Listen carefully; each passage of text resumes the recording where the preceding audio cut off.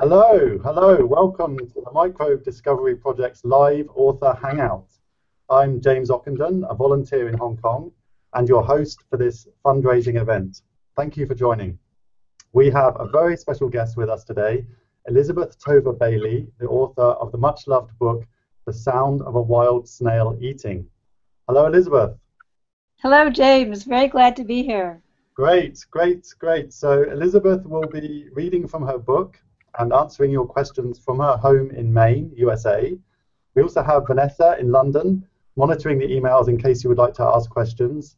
Email them to microbediscovery at gmail.com and we'll try to put them to Elisabeth. This is the first of four live sessions with Elisabeth this weekend. She has kindly agreed to do unique live readings to cover every time zone from Auckland to Oslo, both US coasts and of course, you're very welcome to come back and enjoy the other sessions too. Before Elisabeth reads, let me just recap why we're here. Your donations today will support the Microbe Discovery Project. This is an initiative pioneered by ME/CFS patients in support of Dr. Ian Lipkin's research into this disease. Dr. Lipkin is a world-renowned scientist, well known for his work on SARS, for example, here in Hong Kong, uh, the current Ebola outbreak, of course, and the ME/CFS community are very lucky to have him working on ME/CFS research as well. The patient group has already raised more than 150,000 US dollars, um, but we need more funds to move Dr. Lipkin's research forward. To donate during or after the show, please see the links on this page, uh, the Google Plus page, and remember 100% of your donation goes directly to Columbia University, earmarked for Dr. Lipkin's ME/CFS research project. So now for Elisabeth's reading for this session, Wild Snail Discovery. So it's over to you, Elisabeth. Hello, I'm delighted to be here to give this series of four readings, one tonight and three tomorrow, all over 24 hours to hit all the time zones, as James just explained. I fully support Dr. Lipkin's microbe discovery project research. It holds so much potential for CFS and ME, and it brings patients hope each day. For this first session here tonight, I'm going to read from part one of my book, The Sound of a Wild Snail Eating. I'll read a bit, answer some questions, read a bit more, and end with some last questions this evening. For those of you who don't know this true story, during one bedridden year with ME/CFS, a friend came to visit and brought a wild forest snail she had found in the woods. She left it in a flower pot by my bedside, and I ended up observing this snail for a full year. I'm going to start by reading from part one, the Violet Part, excuse me, part one, the Violet Pot Adventures. Chapter two, Discovery. Throughout the evening, the snail explored the sides of the pot and the dish beneath. Its leisurely pace was mesmerizing. I wondered if it would wander off during the night. Perhaps I'd never see it again, and the snail problem would simply vanish. But when I woke the next morning, the snail was back up in the pot, tucked into its shell, asleep beneath a violet leaf. The night before, I had propped an envelope containing a letter against the base of the lamp. Now I noticed a mysterious square hole just below the return address. This was baffling. How could a hole, a square hole, appear in an envelope overnight?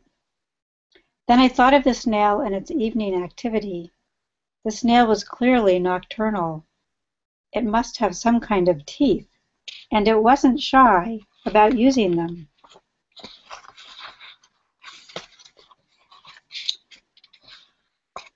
It dawned on me that perhaps the snail needed some real food letters and envelopes were probably not its typical diet. A few long gone flowers were in a vase by my bed. One evening, I put some of the withered blossoms in the dish beneath the pot of violets. The snail was awake. It made its way down the side of the pot and investigated the offering with great interest, and then began to eat one of the blossoms. A petal started to disappear at a barely discernible rate. I listened carefully. I could hear it eating. The sound was of someone very small munching celery continuously. I watched transfixed as over the course of an hour the snail meticulously ate an entire purple petal for dinner. The tiny, intimate sound of the snail's eating gave me a distinct feeling of companionship and shared space. For several weeks, the snail lived in the flower pot just inches from my bed, sleeping beneath the violet leaves by day and exploring by night. Each morning while I was having breakfast, it climbed back into the pot to sleep in the little hollow it had made in the dirt. Though the snail usually slept through the days, it was comforting to glance toward the violets and see its small circular shape tucked under a leaf. Each evening the snail awoke and with astonishing poise it moved gracefully to the rim of the pot and peered over, surveying once again the strange country that lay ahead, pondering its circumstance with a regal air as if from the turret of a castle it waved its tentacles first this way and then that, as though responding to a distant melody.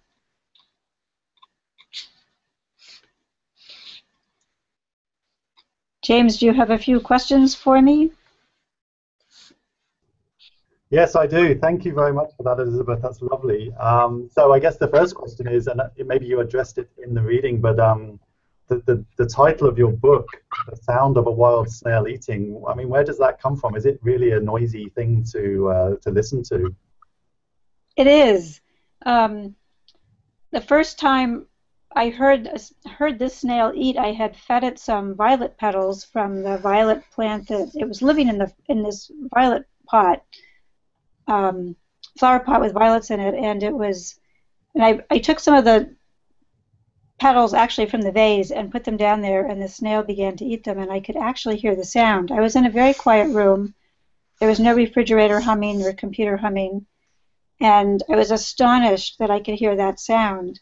A snail actually has, this particular species has 2,642 teeth. So even though it's only about an inch big, it has an enormous number of teeth, and it makes a little teeny grating sound when it eats. Wow! Now, actually, that that sound is uh, on your website, so that's lovely, and maybe we'll play it later. Um, people can hear that uh, crazy sound. So uh, another question uh, came in. What what was it that intrigued you about the snail, and what caused you to start watching it so closely?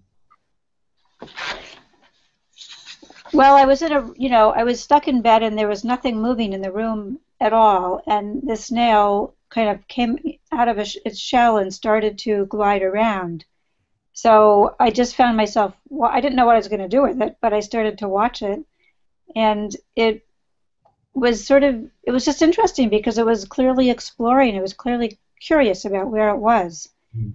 And as I watched it over a few days, it became clear it had routines. It would go back to the flower pot every morning and sleep all day, and at night it would wake up and go off and have adventures. Mm. So was that the idea that this little creature had routines just like a human? That kind of really intrigued me. Right, right. So you became fascinated watching its habits. Um, okay, do you do you think the snail ever acknowledged your existence? You were watching him or it? That's a really interesting question, and I snails have three senses: touch, taste, and smell. They can't hear at all, and they have very limited sight. And smell really is very important. And I, I it, it was in a house for the first time in its life, and so it must have had a lot of unusual smells around it. Mm. And I'm sure that it had some sense of the smell of a human because I was only a few feet away. So I suspect that it knew there was some creature there. It might not. It certainly didn't know what kind, but. Um, okay. were, were, were you surprised to find yourself drawn to such a small, uh, slimy creature? Um, how how did other people, like your visitors, in when you were when you were sick, how did they react to having to you having a snail in your bedroom? Um, they were kind of amused. I think you know it's hard when you're really ill. Um, you don't want to always talk about illness, and the people visiting you don't always want to talk about illness. And I think that it was wonderful in a way because we could all talk about the snail. My friends would call and say, you know, how's the snail? And I'd be able to recount its latest adventures. Um, and my caregiver also was help you know helped feed it. So it it was really good because I think it kind of gave everybody a, a focus in what otherwise is a sort of a sick room. So it, it worked really well. Right. Right. fact, I think I'd like to read a few passages about illness at this point. Yes. Okay. You go ahead and read uh, read some more then. Great. Okay. This is from the chapter titled Explorations.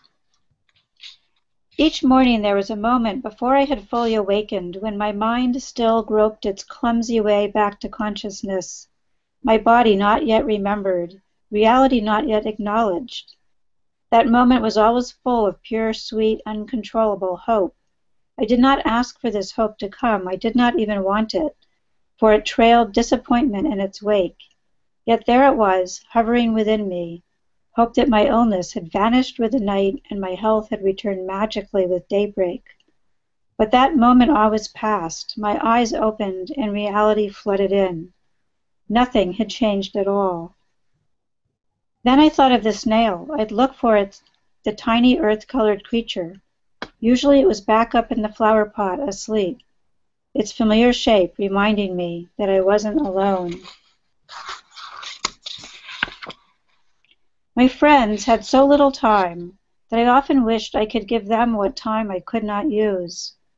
It was perplexing how, in losing health, I had gained something so coveted, but to so little purpose.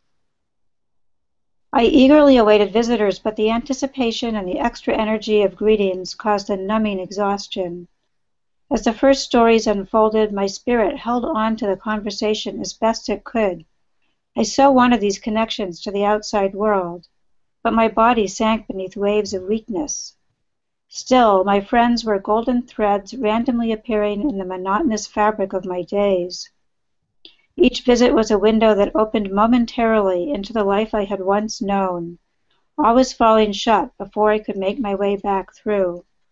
The visits were like dreams from which I awoke once more alone.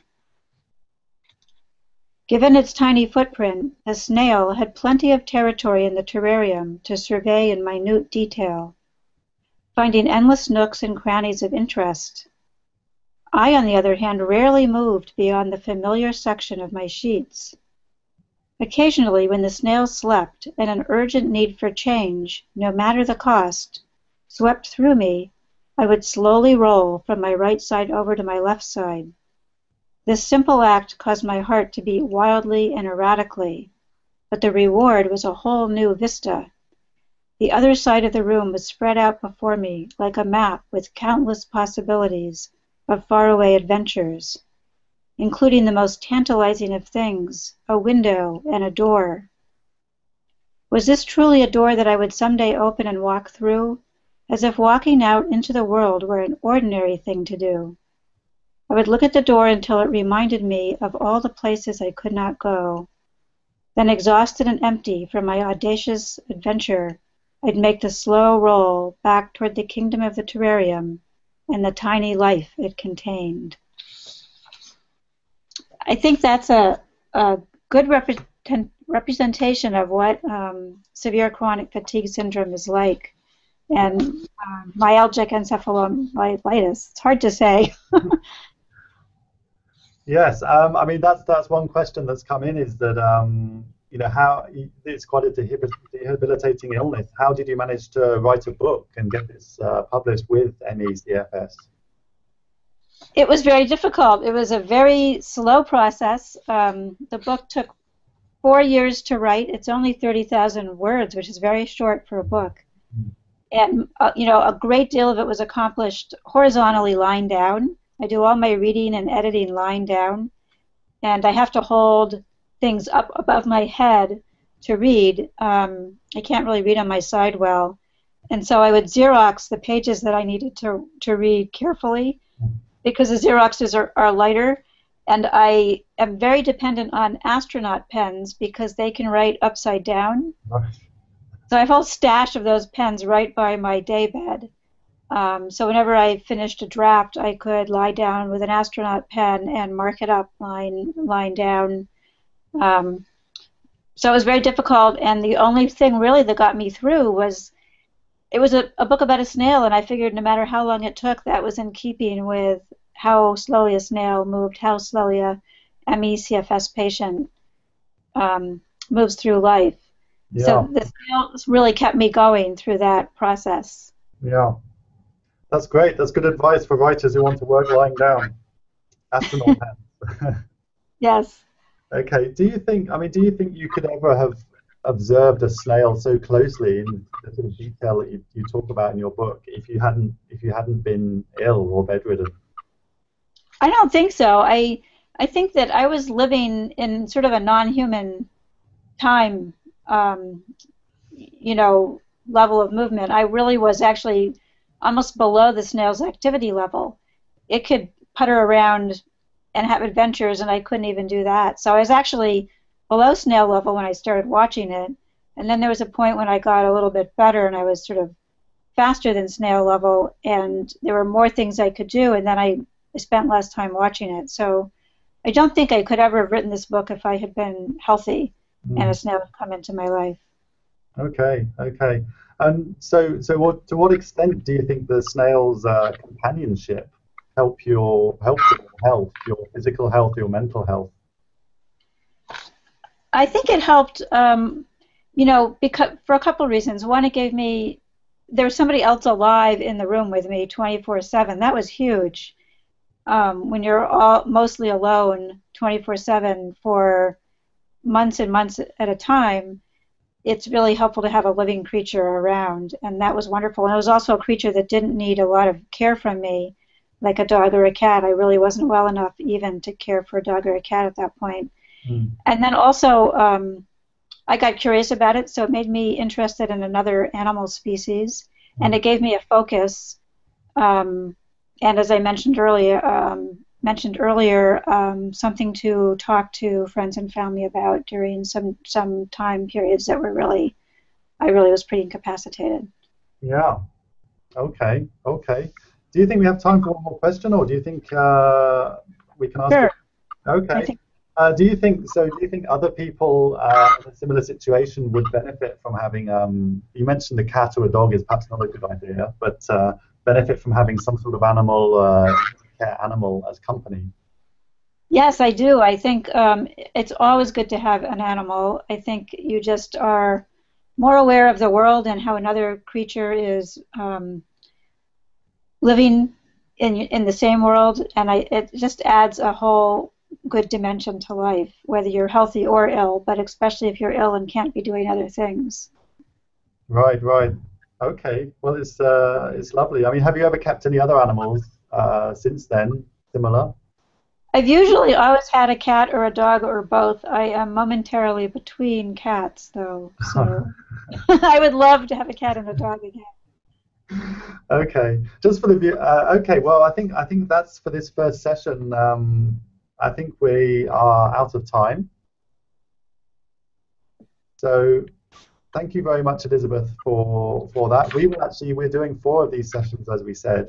So I hope you'll be able to join us later um, to the viewers. Our next one is tomorrow, and 12 hours from from now, and then two more after that the same day. So three sessions tomorrow. Yes, the, two, the two sessions later, I think we've got one coming up on uh, snail tentacles. Uh, we've got one on a snail romance, which will be uh, very interesting. So, um, thank you very much for coming and watching this uh, live Google Hangout for the Microbe Discovery Project. Uh, this is supporting a fundraiser for Dr. Lipkin at Columbia University. If you haven't had a chance to donate to this important ME CFS research, please do so on the uh, Columbia University link on the screen. Uh, thank you very much, and hopefully we'll see you in 12 hours. Okay, goodbye. Goodbye.